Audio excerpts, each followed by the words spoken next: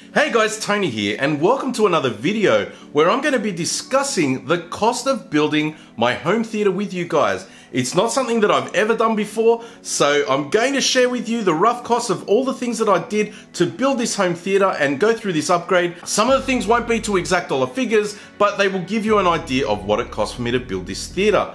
But first, a word from the video sponsor, the Hi-Fi Summit. So the first Hi-Fi Summit was brought to you by Joe and Tell, Youthman, and Techno Dad. As the world was entering into lockdown, it just wasn't possible to go to any home theater or hi-fi conventions. So they brought all of the companies into a single online place where you could go and learn more about their latest products and innovations. They had companies like Denon, Klipsch, SVS, JTR speakers, and many more involved in giving presentations, as well as many of these companies offering up prizes. At the end of each day, Techno Dad would fire up his DJ equipment, and you could jump on the live stream and chat to other people in the community, and it was just a really fun way to finish off each day. If you're interested in buying tickets to the Hi-Fi Summit, make sure you head to hi-fi-summit.com. I've got links in the description below. Righto guys, let's get on with the video. Righto guys, if you're new to my channel, I make content around home theater and I like to make videos that help people that are new to the hobby. I have left a playlist down below and in the cards up above. If you'd like to check that out, it has a range of videos which help you get into the hobby to avoid some of the pitfalls that I managed to get myself into. So do check that out after you've watched this video. So the first thing on my list is the room. Now in the case of my room, this was built during the construction period and it was a purpose built room to be a home theater. It is 3.6 meters wide by 4.6 meters deep and is 3 meters high. So the room isn't the hugest room, but it was a dedicated space for me to build my home theater. So this room does have some cool features. It does have a riser. Now it isn't a very deep riser. It's only 17 centimeters, which unfortunately was not enough for me to see over the chairs in the front row hence my decision to go down to a single row, but I will cover that off in a later point. So some of the things that go into building a room from scratch is the framing and the sheetrock, the paint. Now I've gone with a Taubmans Black Fox, which is a matte black paint. It does cost a little extra to go with this paint because it is more expensive, as well as a lot more care needs to be taken when it's painted. I've also got flooring, such as my carpet, electrical, lighting, and some of the other features that I've got like a riser that needed to be specced in as well. My estimation is that this room cost me around $20,000 to build as a room finished as a shell. That doesn't include anything else, just the room and the all the electrical, lighting, the riser, the paint, the carpet. So there was no room here before, now there's a room. It's all bundled up as part of the construction of the house. So you'll need to do your own research and work out the things that you'll need to do to get your room to the sort of state that I had my room at when I started building out my home theater. Now the next point that we're gonna start off with is the seating. And you might be wondering why we're starting with seating.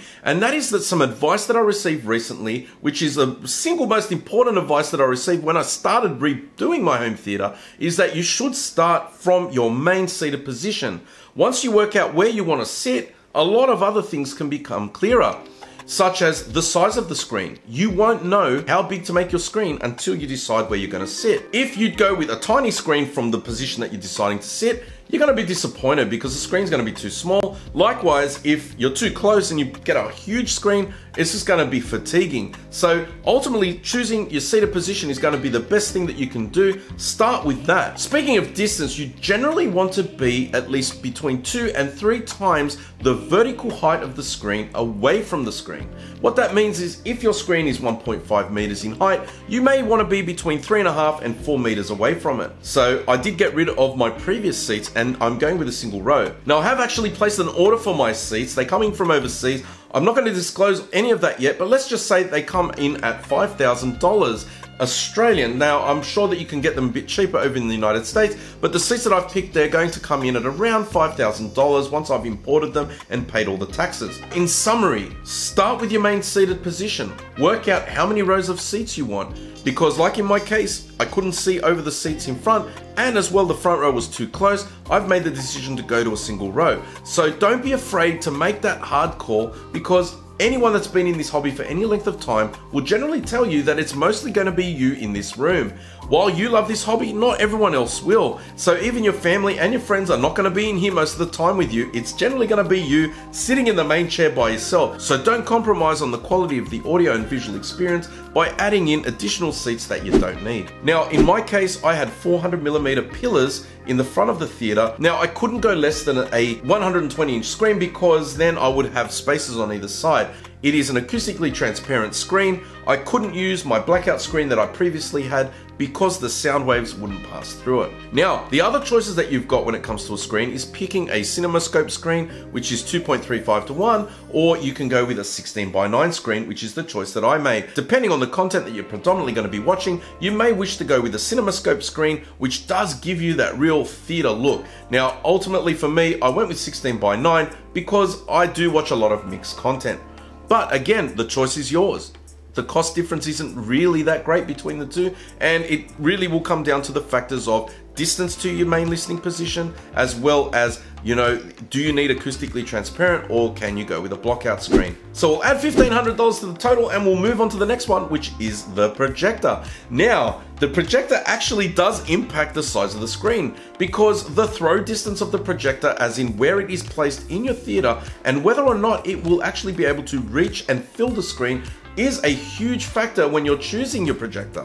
Now, in my case, I have the Epson TW9300, which is a pixel shifting 4K projector. So it does produce an amazing picture. I road tested a lot of projectors before I decided on this Epson. And luckily enough for me, it is one of those projectors which actually has a really close throw distance. It's not really a short throw projector, but it will project at 120 inches from around 3.6 meters, which worked out well for me because once I'd moved my speakers forward, which meant that my screen had to come forward, from the position that I actually had the projector mounted, it wouldn't fill the screen. So I was very fortunate. I built a shelf, which I'll show you in some B-roll footage. It's not finished yet, needs to be painted, but I, I wanted to get it up there just to make sure that it would work.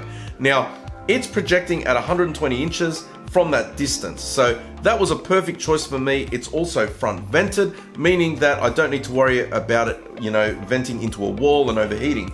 So that worked out really well for me. Now that projector cost me 4,700 Australian dollars. This projector also has some really cool features like electronic lens shift and lens memory. These were sort of a factor for me because especially with the shelf, I needed to make sure I put the shelf into a stud.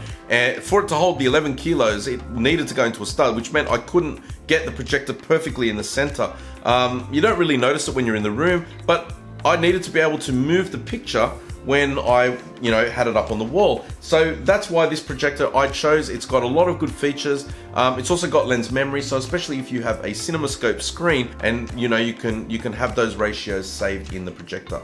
Ultimately, when it comes to choosing a projector, I highly recommend that you road test it as much as possible. See if you can go into any of the hi-fi stores in your area and ask them to check out as many projectors as you can. Because I did, I checked out the JVCs and the Sonys, they were true 4K projectors. I really, really liked the picture that they made, but for the price, I just couldn't look past the Epson. I felt that I was getting some diminishing returns if I went with that over the Epson and there was money that I could be putting into something else. So I moved out all of my Klipsch speakers, which was still great by the way. I really love my Klipsch speakers and they're out in my living room and I have a second Atmos theater in my living room, which is pretty cool. So the speakers that I've gone with in this room are the MX10s. Now these MX10s are a really sensitive speaker. They produce 97 decibels from 2.83 volts at 1 meter. So it's like they run on an oily rag. Like these things produce big sound. On the receiver that I chose, there is no way I could get anywhere near to their full power um, before my ears would start bleeding. I had to literally turn them down to a comfortable point. It's like minus 10.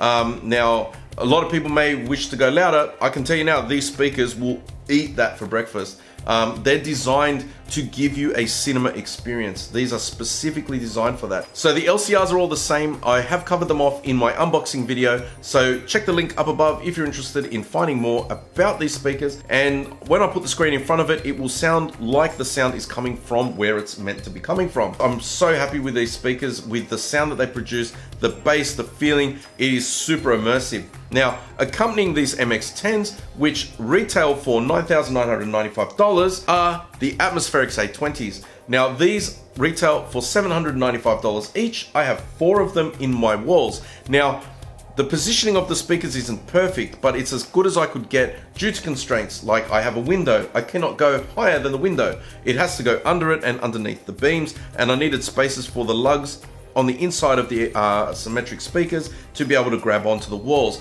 So they are little just slightly above head height I would have liked them slightly higher, but they're still good where they are. The rear ones are definitely placed higher up, and they're placed higher up so they can go over the recliner because it would be crazy to put them at the same height and have them blasting into the back of the recliner. So the speakers that I've gone with for my Atmos are also Krix Atmospherix A20s. So being that these are an angled woofer and tweeter, they aim at the listening position, meaning that when you're doing your EQ, you can be much more efficient with how you push power to these. I really wanted a 7.2.6 setup. Now, 7.2.6 means that I have seven ear level speakers, I've got two subwoofers, and I've got six height speakers. Now, that gives me pretty immersive sound, especially because Dolby Atmos, DTS:X, it's object-based sound, so it will blend the sound between the speakers to give you a position in the room where you think that you can hear the sound coming from. Having the additional two speakers did make a big difference from the four, especially because they're in the rear, so I can get sounds coming from overhead to the left and the right,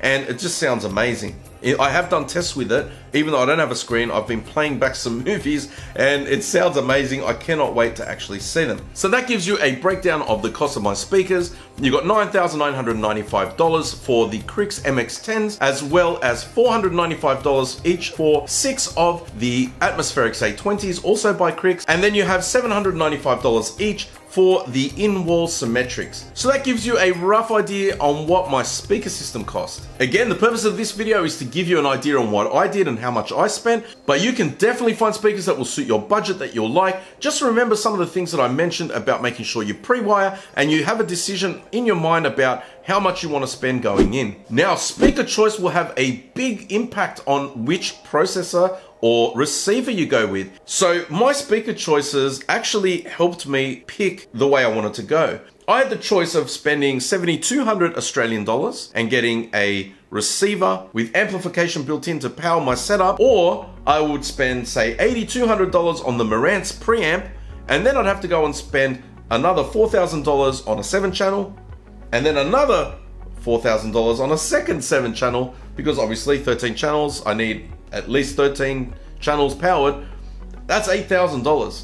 8,000 and 8,000, that's $16,000 versus $7,000. So ultimately, I made the decision to go with the Denon X8500H because it is a beast, it is the flagship, but also it was going to be more than double the price for me to go into a preamp and separate amplification. Now, that isn't to say that isn't my goal. It definitely is my goal to eventually save up enough to go with the first amplifier, which I'm probably going to go with the Electra, which is another Australian made uh, amplifier, and it's a seven channel. So if I got a seven channel now, I could then flick off seven of the amps inside the Denon, and then I could just run it in preamp mode for those seven channels, which are the ear level speakers, which generally should give me a much cleaner sound, much better sound, bigger sound. When I eventually get a second amplifier for the Denon, I can convert the Denon into full preamp mode, meaning all of the amps will be turned off inside the Denon and it just goes into pre-pro mode. By doing this, it allows me to at least get the setup working and I'm telling you, it sounds fantastic. It powers these speakers without any trouble at all. So that just gives you an example into my decision-making process, why I went the way I did, why I went with the Denon instead of a preamp because I do get a lot of questions saying, why didn't you go pre-pro? Well, this is why.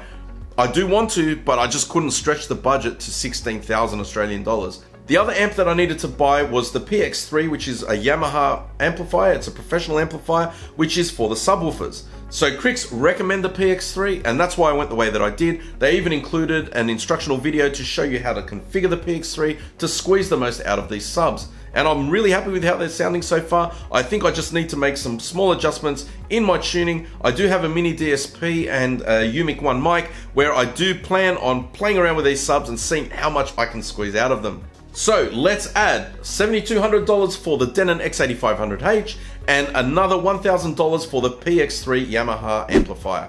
Right, let's move on to the AV rack. Now, the AV rack is a necessary part of building home theater. Now, in my case, I decided to go with a full tower rack. It's 33RU. I got it from VHM Audio up in Queensland in Australia. It was very reasonably priced and I managed to get it shipped down to me for 750 Australian dollars.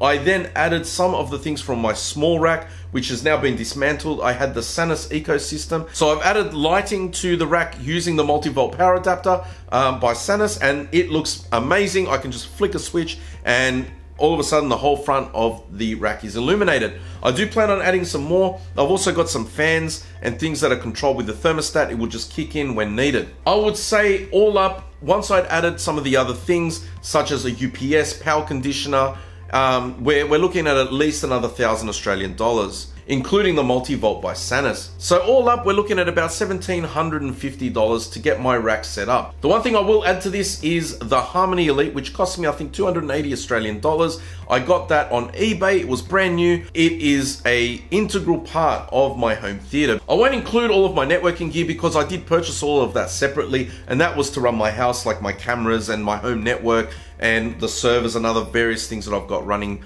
around the house. But the home theater definitely does leverage off that network. Moving along to lighting, and if you've watched any of my past videos, you'll know that I'm absolutely obsessed with RGB lighting. So I've gone ahead and purchased LIFX lighting, I've got LIFX strip lighting, I've also got LIFX bulbs, uh, the GU10 bulbs inside the bulkhead, and I control all of them with the Harmony Elite. It is amazing when you're playing a movie, you just hit pause and the lights will just slowly dim back up. And it's something that was really important to me to do. Now I also have Govee lights in here. I will have Govee lights behind my screen to illuminate my speakers. That is going to be coming up in a later video. I'm not ready to do that just yet, but just letting you know, I'm going to be lighting up the speakers because they're too nice to be hidden away. So I do have Govee around the bulkhead on the inside of my star ceiling. I'm not going to include the cost of the star ceiling as part of this exercise, but all up, my LIFX and Govee lights would have cost me in excess of $1,700. Now, LIFX is not cheap. I do have several meters of LED strips. So it does create a really nice ambience in the room. I think lighting is very important. It's something that you may or may not want to consider with your home theater. I highly recommend that you look at lighting. There are cheaper options out there. Govee is a really affordable brand that you can get, you know, LED strips as well as bulbs and other things as well. So check them out. I've got links in the description below to both LIFX and Govee. The star ceiling, I won't include in this. There is a video coming on that. I know I've been promising this video. The star ceiling video will be the next video that I make. So make sure you subscribe to the channel so that you don't miss seeing that video. The next subject is cabling. Now, I did cover off cabling when I was discussing about building the house, and it is important to try and get that right. I cannot emphasize enough, spend as much time as you can trying to work out your wiring because if you don't and you want to add speakers, it can be very costly to do it after the fact. Especially if you have a double story, it's going to be very difficult to run wires across the top of the ceiling. So spend a bit of time. I recommend minimum look at 7.2.4 at least for pre-wiring. That way, if you decide you want to add additional speakers, that you'll know where they are located in the wall. You can just cut a little hole and pull the speaker cable through. I spent around 5,000 Australian dollars on my wiring. This included all of the points for my downlights, additional speaker cabling, cabling during the construction period, as well as all of the work that I had to do afterwards. So it might sound like a lot of money, but it was necessary to spend that, partially because I wasn't able to come on site during the construction of the house and run the wires myself. So Potentially that's somewhere that you could save compared to me um, by planning and spending a little bit of time doing it right the first time. I have discussed at length my woes when it comes to cabling, so make sure you check out the playlist down below, which is my home theater construction guide as well as my home theater helping guides. The links are down below. Next thing on the list is your media and streaming and playing devices. So I have ordered a Panasonic 820, which is going to basically be my go-to device for playing UHD discs. We also need to add UHD discs to the cost of building a home theater because there's no good having a player without having the discs to play it. So the Panasonic costs 640 Australian dollars. You can probably get it on sale or find it cheaper over in the United States, but I'm going to list the recommended retail price over here, which is 640 Australian dollars. Generally, typically UHD discs from JB Hi-Fi, which is our main seller of UHD discs um, in a retail environment, you can get anywhere from 20 to $40 and you're paying up to $100 for limited edition UHD discs. So bear that in mind if you're gonna go the route of UHD and you want the best audio quality, you're going to want to go that way. The best audio and video quality, actually, you're going to get from a disc over streaming. So factor that into your costs. I've also got an Apple TV 4K, which I use for streaming. I use that more than any other device because I can do Plex, Netflix, Disney Plus, YouTube, um, and I can even watch normal free to air TV on it. So the Apple TV 4K cost me $250. There's lots of other things that you can consider instead of an Apple TV. You can go with a Google Chromecast, you can go with the Nvidia Shield, you can go with a Roku. There's plenty of other options out there. You can even build a home theater PC, which is something I probably will do in the future just for fun. So the last piece of the puzzle is acoustic treatment. And as you can tell from my room, I do not have any acoustic treatment other than my flooring, which has some nice thick underlay and also my star ceiling, which is 100% made from acoustic panels. Now I don't have any on my sidewalls yet because I want to wait until I get everything into the room and then I'm going to do some more testing and then I'm going to decide where the best points are. I'm probably going to use the mirror test where you can slide the mirror up from your main listening position and then you can see where the speakers are in the reflection and that's generally where your first reflection point is. So that's in the works. I haven't actually purchased anything yet. It's around a thousand dollars I've got put aside for my acoustic treatment. So there's many options that you can go with. I initially did some DIY acoustic panels with movie posters. However, in this version of the theater, I'm going for a much plainer look, so I'm not going to have any posters at all. It's just going to be black acoustic panels. I'm going to keep this room dark and I'm going to use lighting to make the ambience what it is. The room itself is already acoustically treated with insulation inside the walls and the walls are also double lined with gyprock or sheetrock and also bracing timber board. So yeah, it's pretty contained in here. It's just more the sound reflecting around in the room that I need to get under control. So let's add a thousand Australian dollars for acoustic treatment. You can definitely get it a lot cheaper. I could probably buy the materials and make it all myself for around two to three hundred dollars. So there you go guys, that is a rough breakdown of the cost of my home theater upgrade. If you liked the video, remember to smash that like button for me, and if you're interested in anything that I've spoken about in this video, you will see it down in the description below below. Let me know if you have any plans to build a home theater. I'm really interested in hearing the experiences that you guys are having. If you'd like to join a community of like-minded home theater enthusiasts, we're approaching 400 members on the Discord server, so the links for that are down below. It's free to join, and it is a great place to chat and communicate about home theater. I'd really like to thank my Patreon supporters for supporting the channel. Any proceeds from Patreon go directly to supporting the channel and funding videos for you guys. If you like the video, smash that like button for me. And if you enjoy content around home theater, make sure you hit the subscribe button and the bell notification so that you don't miss the next episode. My next video is gonna be on the star ceiling. It's the big one, it's coming. So make sure you stay tuned for that one. Righto guys, that's it for this one. You'll catch me in the next one. Bye for now.